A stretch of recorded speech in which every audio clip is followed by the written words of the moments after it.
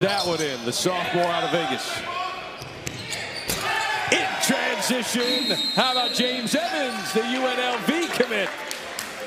And Paul George Elite reasserting itself.